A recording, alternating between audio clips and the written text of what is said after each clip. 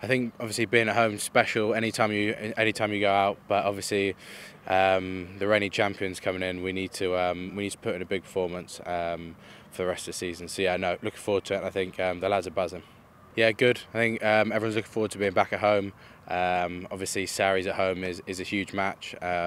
so we're really looking forward to. Week, week of prep's gone really well.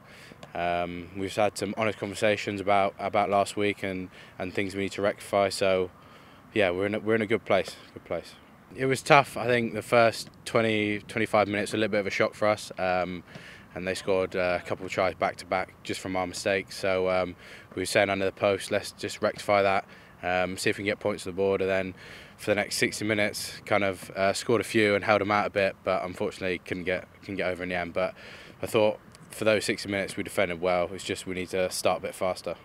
Yeah, so Fin and Cole have scrum with them quite a bit, and they're, they're great, great athletes, great, great scrummagers. And then Domers and Cadan, I think they speak for themselves. I mean, Cadan's record last season was pretty silly, and um, Domers does does just magical things. So um, no, it'd be great to have all of them back, and it'd be nice for them to get um, a first run out this season.